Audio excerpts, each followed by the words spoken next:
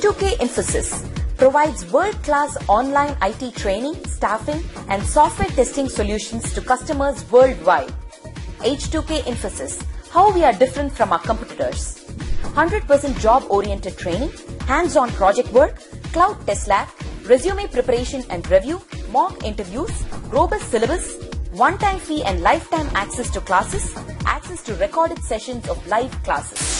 H2K Infosys has won the trust of thousands of students worldwide. For a free demo class, visit us at h2kinfosys.com.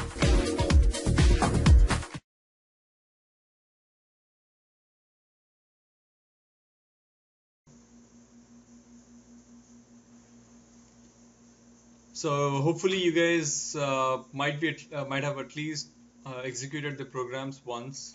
Uh, I know it's a very short time, but uh, I, I still expect um, fast response and fast action from you guys. Okay. All right. So let's start up JSP. So what is JSP? Uh, we'll talk about what is JSP and how what is the uh, what are what are the things we are we can able to do using JSP how JSP uh, what is the life cycle of a JSP okay we'll see those things in short right now right? Now before that um, I basically have created uh, I'm using this JSP tutorial using your Maven project alright so in order to create a Maven project you guys already know if I just uh, quickly create one Maven project. So I just say new others maven maven project next create simple project uh, and just say next. Let me just say JSP out here and JSP out here. Okay? The packaging will be jar and I just say finish. Alright? So ultimately uh, one JSP module got created out here and uh, what am I going to do is I'm just going to create a small JSP inside this. Right so or, or probably an HTML as of now. Okay? So let me go ahead uh, create source main web app. Right so what I'll do is I'll just say right click new others HTML HTML file next. And here I'll just name it as index.html next. Finish. Okay I'll just say hello.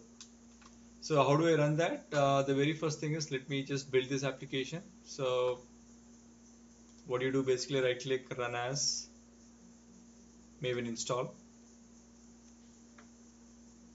okay I some problems. What is the problem? Right click run as maven install.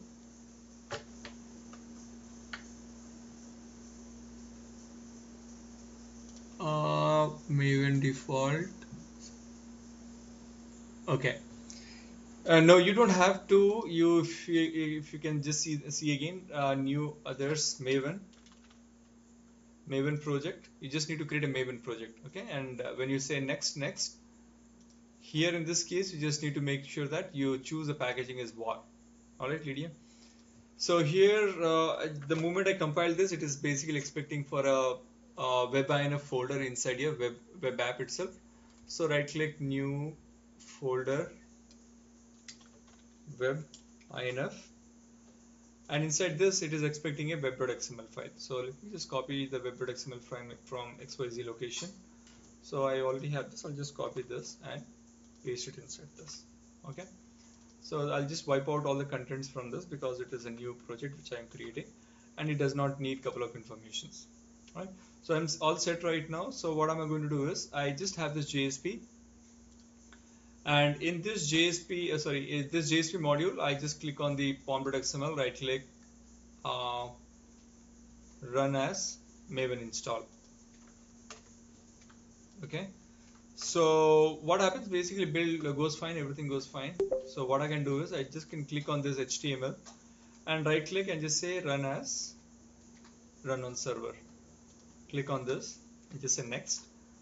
And there are a lot of things. Uh, let me say remove all and let me just keep this JSP and finish okay so you see uh, your index.html gets uh, you're able to access your index.html using your browser all right so uh, it's the it's it's the same process. I mean, if you want to create a Maven project, uh, depending on uh, that, it will give you all the directory structures. You just need to keep your existing modules.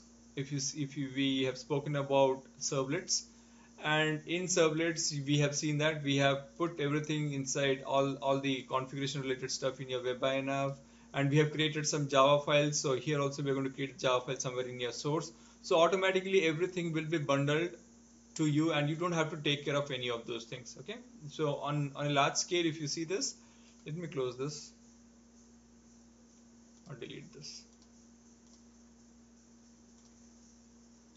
so on a large scale if you see this uh, this is your project structure so let me open the navig navigator over here and okay now the basic structure what Maven created for us is your main, Java, resource, web apps, and test. Okay, so this is the basic structure which got created. Under source, you have got main and test. So test we are not using as of now. Under main, you have got Java, any any related anything related to Java files. Push it inside this. So here I've got all the packages. Okay, anything uh, related to resources like for example here I'm using a resource known as log4j. So here the log4j goes in inside your resources. So everything I'm segregating things here. Now anything related to your web applications, okay, so it goes here, goes inside your web apps. Now, as you know, uh, we need to have a web INF folder, so that's what I have it out here. So under your web INF, I've got your web.xml.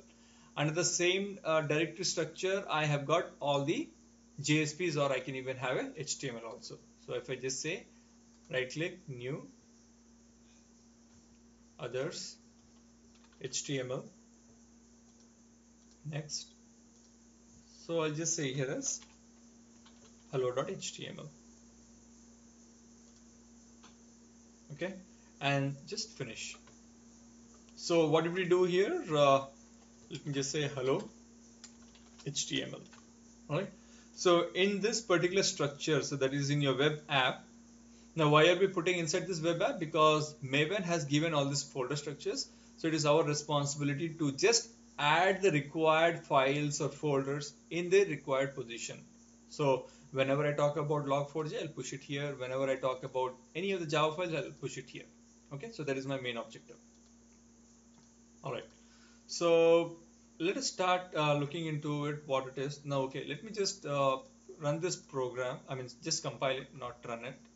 So run as Maven install. Okay, so when I run as Maven install, the packaging, some packaging is happening. If you can see packaging web app. So ultimately, uh, one packaging is happening and and uh, whatnot. Okay, and let us go back here, refresh this. So you have got a tag target folder. Automatically, all the uh, related files goes to your target directory. Okay. Now, if you see the classes under classes, you have got log4j and XML file. The, I'm talking about step-by-step -step process. What's going to happen here? So all, if you see this, I have got main resource Java. Under your Java, I've got all Java files. Now all these Java files are been copied to a folder inside your target itself. Okay, so there is a classes folder inside this. The com got uh, the the Java files got created. Okay, this will be only the class files. Apart from that, you won't be seeing anything as such. Okay, these are only class files. And at the same time, uh, what all things which is present under your resources it goes to your classes folder again because your resources and your class file should go into your classes folder itself. And then uh, if you see this, under you they it, it, it creates a folder that is a JSP tutorial 1.1 and under that all the things will be there. All the related JSPs or HTMLs or configurations will be here. So my configurations is WebINF and you have got all the web.xml files here. All right? And automatically what happens is first classes gets created. Okay uh no sorry if you right click on this properties so the classes folder got created uh, Geram, uh, uh-huh um, Geram, so, so are we covering Maven as a topic today or JSP? We are going to we are covering JSP as a topic. Okay. and Maven is part of it. I think we have already spoken about Maven. Okay, so I'm just covering it up again so that you guys don't get confused. all right okay so right so how did this class folder came into picture? Because in your uh, properties of this particular project in the source i'm just saying the output folder is a classes okay? But ultimately what happens? Uh, your jsp tutorial as a folder gets created and then webinf gets created. Under webinf all the classes gets pushed in okay? And if you see the libraries also get gets in. Now from where i got this libraries i have added the dependency in my pom.xml so these library files will be pushed to your library folders automatically. Okay? It is during the build process itself. All right apart from that I have all my JSPs or HTMLs so the HTML which I created under my webinf and hello.html it got pushed into my output. That means my into my target folder. Okay so this is altogether the kind of a directory structure which maven maintains and the moment you push things and compile it it goes to the respective folder. And ultimately what happens? A war file gets created. Okay that's we have already seen that a war file. Okay so in this war file you will be having all kind of directory structures. Okay all right so let us move on and uh, Uh, Jairam, yeah. Uh, so you created this um, JSP, uh, this, this project, I mean folder as, as a Maven, Maven project? as a maven project yes JS, okay, got it. all right all right so let's go ahead and uh, see what JSP is all about so when you talk about JSP uh, is a technology for developing web pages that support dynamic content which helps developer insert Java code in HTML pages. Alright, so it is just the vice versa. You can think it as a vice versa. Uh, when you talk about HTML, if a person is very much good at HTML and he wants to insert some kind of dynamic content, in that case your JSP comes into picture. Okay. Uh, so what happens basically developer inserts Java code in HTML pages by making use of special JSP tags, most of which starts with your percentage and perc sorry, I mean the angular brackets uh, and the percentage and ends with your angular bra bra sorry your percentage and angular bracket. Okay, so this is what you will be seeing in most of the JSP files. So why do you need to use JSP? Performance is significantly better because JSP allows embedding uh, dynamic elements in HTML pages. JSPs are always compiled before it is processed by a server. Alright, so when we talk about this, we'll see how JSPs are getting converted to your Java files. Alright, and JSP are built on top of Java servlets. And I kept, uh, I keep on saying that if you understand servlets properly, JSP is just a peanut. Okay, so like servlets, JSP also has access to all powerful enterprise uh, Java APIs. So when I say Java, enterprise Java APIs or JDBC, JNDI, anything as such, any program, let's say for example, I want to uh, access JDBC. That's what we did it using a servlets. I can even do do that, right? So the same thing you can do it using a JSPs also. Okay. Uh, JSP pages can be used in combination uh, with servlets that handles the business logic, the model supported by Java servlet template engines. Okay. Now, what is JSP? I mean, it's it's basically Java server pages, right? So it again runs in the server itself. Okay.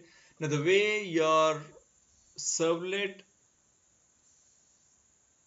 uh, Madhu JNDI Java naming and directory interface and EJB is enterprise Java beans. Okay. So this is it's when you talk about your uh, anything on, on on part of your EJBs uh, something uh, we are completely talking about your web applications right now so ejb is something uh, on something uh, on a wider range when you try to deploy something and you want to access it remotely now here what you're doing is you are trying to put some jsps or servlets or html that you can access it on the browser right so when you talk about ejbs some java files you you you try to access it remotely okay not the browsers not from the browser you will try to access it from some other application okay did you just say you can have both servlets and JSPs in the web INF? No, I didn't say that. We cannot, inside your web INF, you only will be having some sort of configurations, okay? The way we have seen here. I mean, you'll be having classes, no doubt, okay? So, okay, let me just show you that. Under your web INF, you'll be having classes. That means under your web INF you push your servlets all right so servlets are nothing but the .java files what we have seen till date so when you say that I go to my source main web INF no not to web INF Java let's talk about this okay so this is my servlet which is somewhere present in my source directory. It goes inside my classes folder, okay, but not the JSPs. Okay, so the way we have seen the life cycle of a servlet the same way, there is a life cycle of your JSP also. Okay, so that is a JSP init, JSP service and JSP destroy. The same thing. There is no other differences. Uh, the way you see your servlets, the same way you can see the JSPs also. Okay? And here how, how does the JSP gets processed? Uh, usually what happens uh, you write a JSP file. Now if I talk about JSP files let us first create a small JSP and I'll just show you that.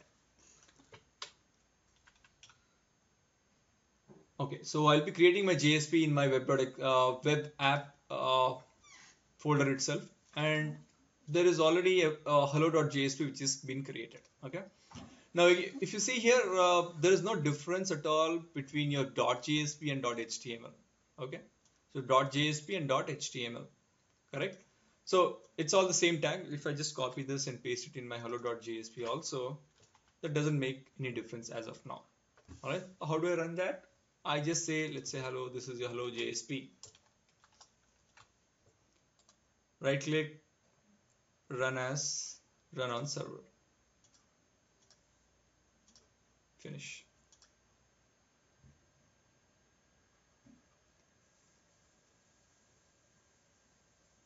Uh, okay, it gave me some exceptions. Hang on.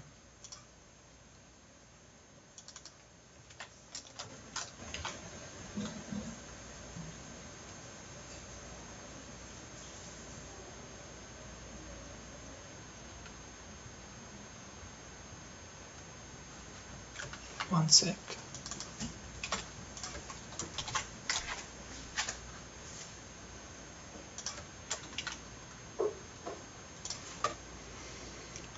Okay, so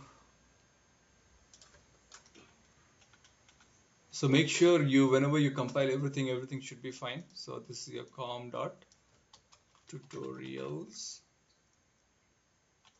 dot JSP. Let me just clarify, confirm this. Uh,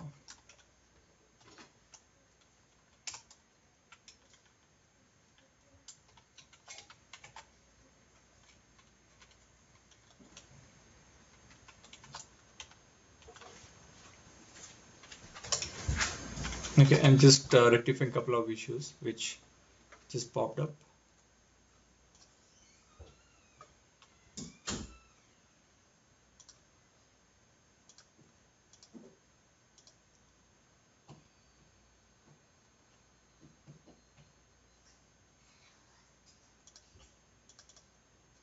okay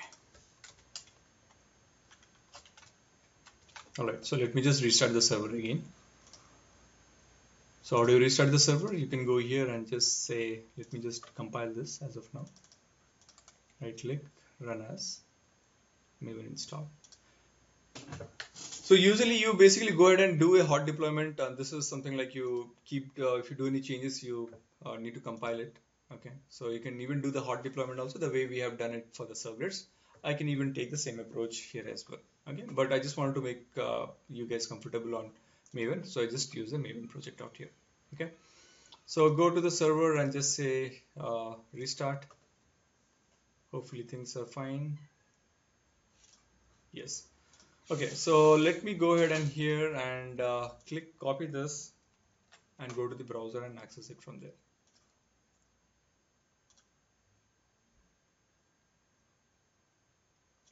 Push everything, just mute this. Okay. Right so if you see the dot .jsp hello.jsp or if I try to access my uh, hello.html both are kind of same hello.html right now what is the difference basically hello.html or hello.jsp now in this HTML if I say something like uh, new date. I want to print the date dynamically right? So if I access my hello.html there is no way I can do it. I mean the one which I just push it the same thing I, I see it here right? There is no other way that I can have this new date because I know this is a function this is a class which is given by the Java itself. So how do, how do I use this dynamically in my JSP okay. Now tell me if I uh, okay let me go back to the hello.jsp and let me try to do we'll even talk about all these things so no worries. Okay. Now um, I'll just say here java dot util dot date. Okay. Now what did I do uh, in my JSP apart from having some uh, some HTML tags okay inside that I just added a Java code. Okay. So in order to add Java code I have to start with some angular bracket and then percentage equals to new of so and so all right so we'll talk about this in short okay? Now let us go back to the HTML so if you have seen that if you ref keep refreshing the HTML you get the same thing. If I go back and say JSP okay? Now when you say JSP what happens? The date comes about here the actual date which is present right now so if I refresh keep refreshing I keep getting dynamic content out of this particular JSP because every time you refresh the JSP file the JSP file converts this particular I mean uh, it triggers this each and every time and displays the date dynamically. Okay? Now, uh, the question is coming back to this diagram, okay? Coming back to this diagram, now what basically happens is the moment I send a request, let's say when I say hello.jsp, what happens? The very first time you send a request to the server, okay? So what happens if there is a JSP which is being accessed for the first time? The JSP gets converted to Java file. Hello.jsp gets converted to your hello servlets.java file.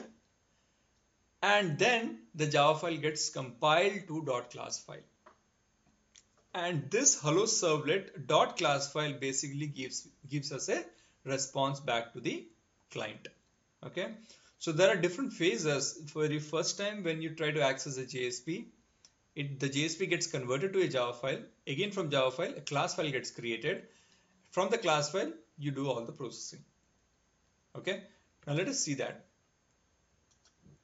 You do not see anything as hello.jsp as a class somewhere in my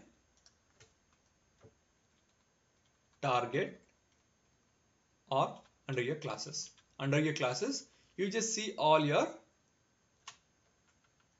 just delete this okay you just see all your dot class file which are nothing but the servlets okay? But we are talking about something which is getting converted dynamically okay? Now uh, where is this running? Let me just go back to the path where it is running. Open the server and it is running somewhere in the metadata blah blah okay? Let me just go there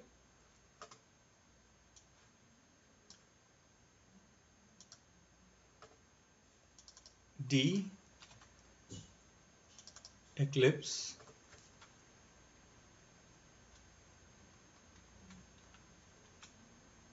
no not here sorry.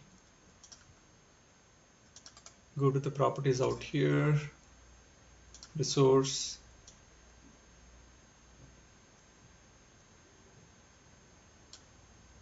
no. where is that where is that? Workflow h2k okay now just go to the metadata okay and then plugins and just scroll it down. Somewhere you'll see something like server core. Uh, where is that? Server core okay? So this is what you need to have it. Just copy this and we're putting it in the comment chat right now okay